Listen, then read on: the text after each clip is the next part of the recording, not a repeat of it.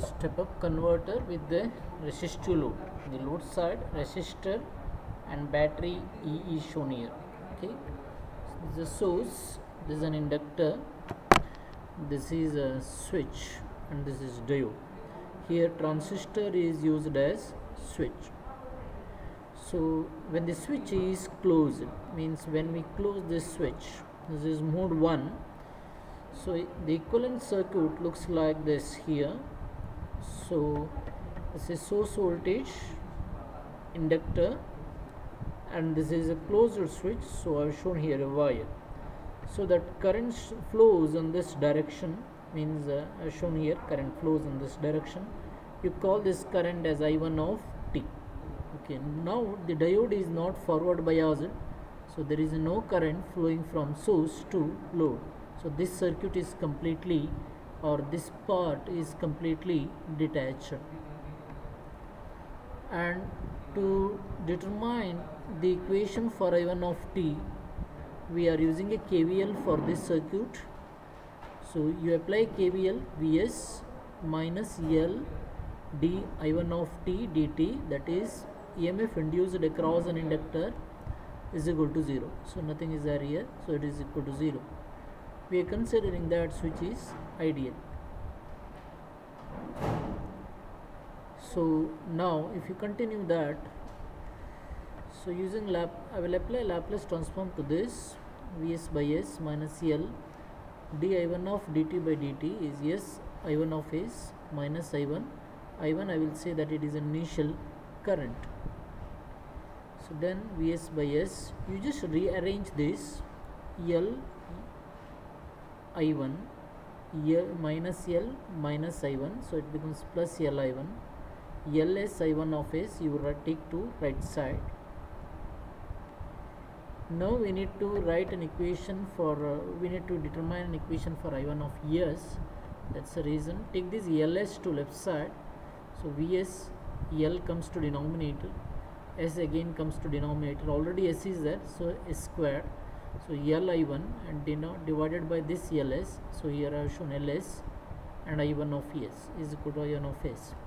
So Vs by L 1 by S squared plus LL cancel each other. I1 S denominator. So I will say I1 into 1 by S is equal to I1 of S. So now we have an equation for I1 of S you apply inverse Laplace transform to this. So 1 by s squared inverse Laplace transform t 1 by s 1 so I1 of t is equal to Vs by L into t plus I1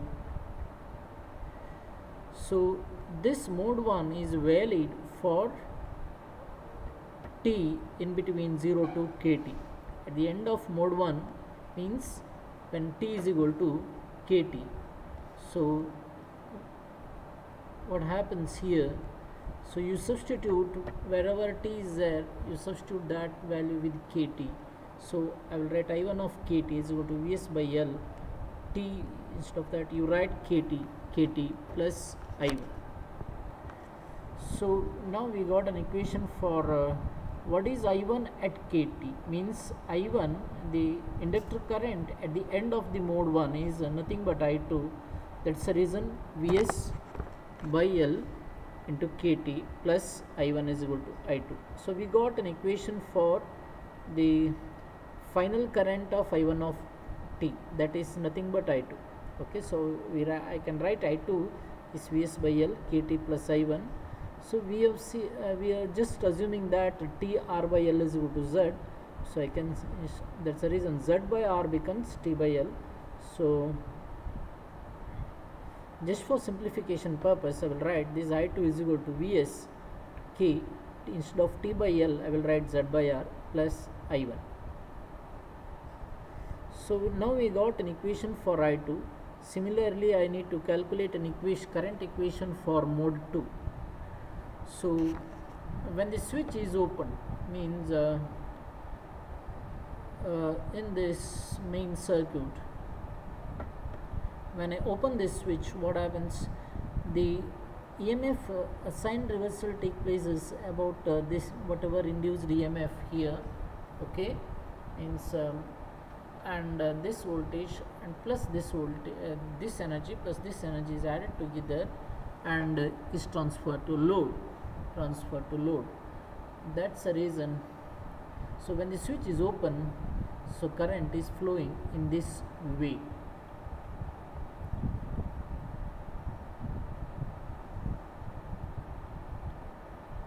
when the, when we open this switch so uh, this switch is open so from source uh, energy from a source is added with energy which is already there in inductor uh, and uh, the total energy is transferred to load. The current is flowing in this direction.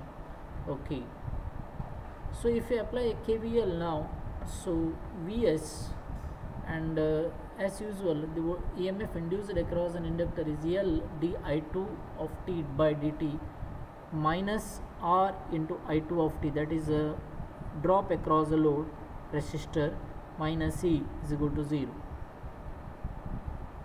so vs by you just apply uh, laplace uh, vs by s minus l s into i2 of s minus i2 i2 is an initial current means initial current of mode 2 hmm?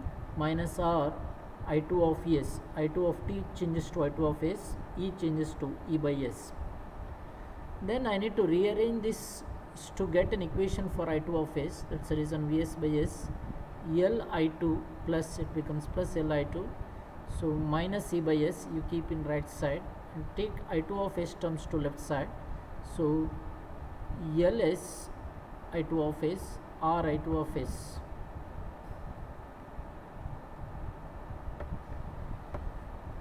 So now I will take Vs minus E by S. These two I will, uh, will write as Vs minus E by S. Li2 I will write like this. I2 of S you take outside. Ls plus R.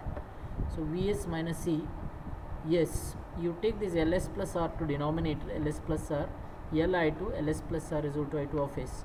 Now I need to there is a term like 1 by S into S 1 by S into Ls plus R 1 by S into Ls plus R.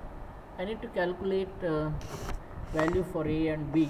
So using partial fraction I can write A by S plus B by Ls plus R.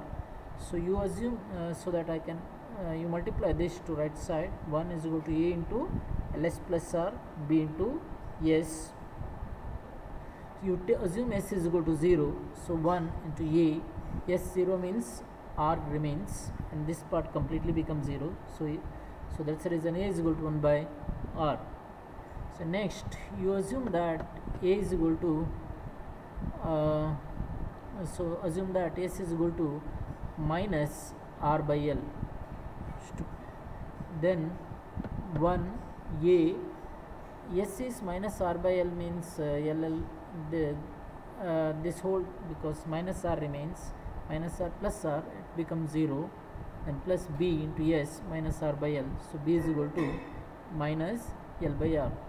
We calculated the coefficients A and B values.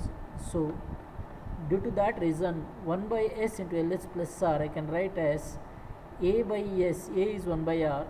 So 1 by R hmm, S is in the denominator then minus actually B by Ls plus R plus B by Ls plus R. B is minus L by R so Ls plus R is in the denominator. Next. So you I can rewrite like this 1 by R into 1 by S minus L by R into 1 by L into S you take out L you take outside S plus R by L this L L cancelled each other. That's the reason it becomes 1 by R 1 by S plus R by L. This is anyhow like in the same way. So now I can easily 1 by R you take outside 1 by S minus 1 by S plus R by L. Now you apply the inverse Laplace transform Vs. So I can uh, my main equation I2 of S I will write now Vs minus E by R.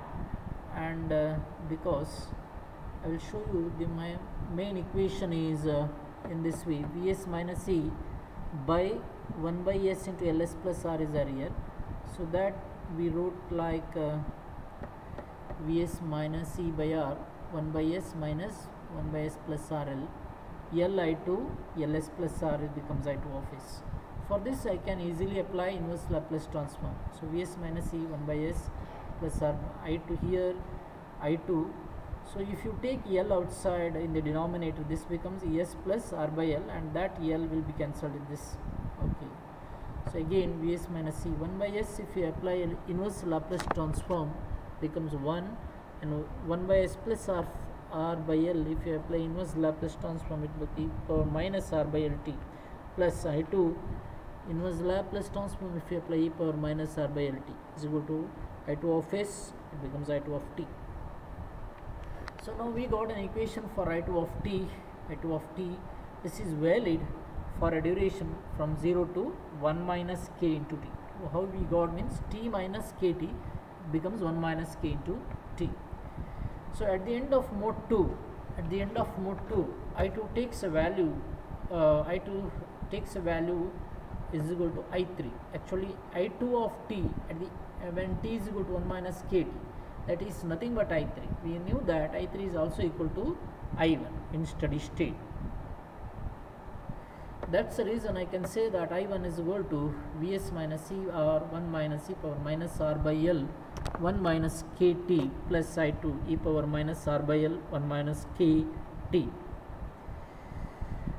So here we knew that Z is equal to T R by L. That's the reason I again I will write I1 is equal to Vs minus C by R 1 minus C power e power minus wherever R by L T is there you just write Z then 1 minus k plus i2 e power r by l t you write as z minus z so 1 minus k k.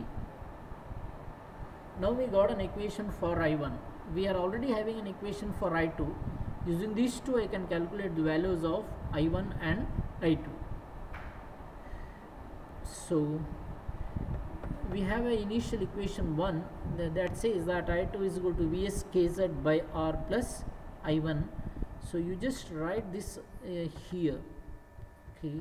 So we have an i1 i1 is equal to vs minus c by r 1 minus e power minus z 1 minus k plus this i2 here you write vs kz r plus i1 vs kz r plus i1 then into e power minus z into 1 minus k e power minus z into 1 minus k.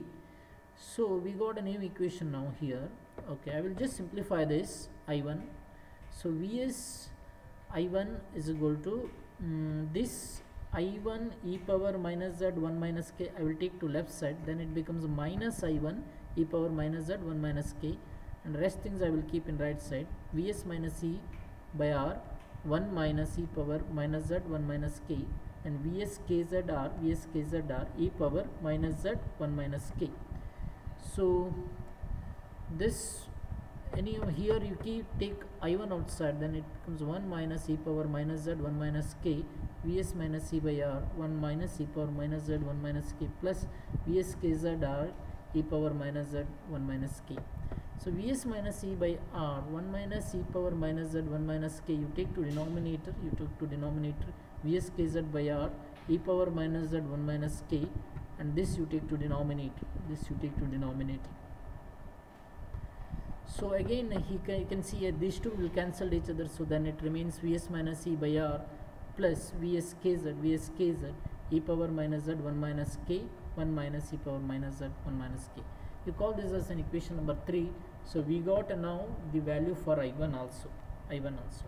We are already having a values for uh, i2 and uh, okay. So what is i2 i2 is nothing but vskz by r plus i1 so we can uh, using these equations so you write vskz by r plus i1 i1 we are already calculated. You just write here vs minus e by r plus vs kz r e power minus z 1 minus k 1 minus e power minus z 1 minus k. So you just rearrange uh, you so simplify this. Vs kz r is a common here. You can see here. Uh, so vs vs minus e by r you write separately. Vs k z, uh, z by r you write take it here and then it becomes 1 and here e power minus z 1 minus k 1 by 1 minus e power minus z 1 minus k. So 1 plus this. So again you write as it is here. This you write as it is. So you take 1 minus e power minus z 1 minus k as a common denominator. So this goes to 1 then 1 becomes 1 minus e power minus z 1 minus k plus e power minus z 1 minus k. These two will cancel each other. So we got a term like now vs minus e by r plus vs kz vs kz uh, kz these these two will cancel. So 1 remains 1 minus e power minus z 1 minus k. So now we got an equation for i2 so now uh, we have already seen i1 of t i2 of t and we are uh, having a values of i1 and i2 also. Hmm? i1 and i2 is initial current of i1 uh, in mode 1 and as well as in mode 2 i1 is initial current in mode 1 i2 is initial current in mode 2 so we ha- we have seen what is uh, i2 is this this is i2 and uh, we already seen this is i1 this is i1 here this is i1 hmm? so uh, some sometimes we are uh, we wants to calculate the current ripple changes in the current means i2 minus i1 can easily calculate see i2 is this vs minus I have i2 equation vs minus c by r plus vs kzr this I have taken from i2 1 minus 1 mi 1 by 1 e power minus z 1 by k minus i1 vs minus c by r minus vs kzr e power minus z 1 minus k 1 minus e power minus z 1 minus k. So anyhow uh, vs minus uh, e by r vs minus c by r is uh, common. Cancel this. Vs kz by r 1 by 1 minus e power minus z 1 minus k. Here also vs kz by r is z. That's the reason i have taken outside this. So e power minus z 1 minus k 1 minus e power minus z 1 minus k remains. Okay? You take this as a common denominator 1 minus e power minus z 1 minus k. So you take that as the denominator minus zk so 1 minus e power minus z 1 minus k goes to numerator so these two will cancel each other. Uh, uh, these two will cancel each other correct? So re remaining is vs kz by r. So vs kz by r is delta i. So vz where what is that z is tr by l. So you write tr by l here. Rr cancel each other. So vs kt by l or else vs k divided by lf nothing but here current ripple for this circuit is equal to source voltage into duty cycle divided by load inductance uh, sorry divided by not there is not load divided by inductance value uh, here this f is switching frequency. So delta i depends on source voltage duty cycle inductor value and switching frequency switching frequency that's that's all. Thank you